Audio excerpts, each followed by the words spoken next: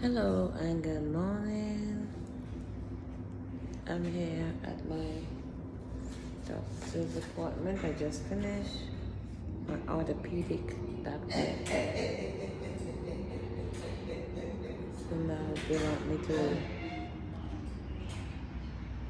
Well, I'm gonna get a. I got a referral to go do aquatherapy, and then he also wants me to go check out the doctor for my shoulder to get the shot. But he said the shoulder is different, so I have to go do it at the hospital itself.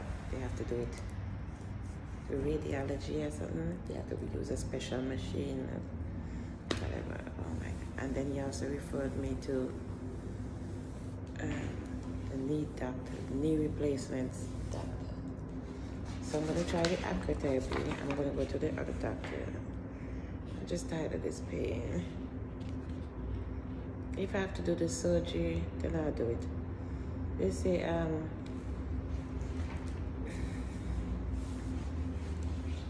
like healing is about three, four months.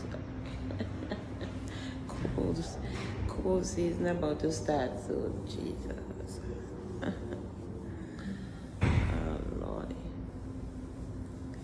He will take care of you. God will take care of you. Mm. To need his will. Orthopedic. I remember all these names for all these different doctors.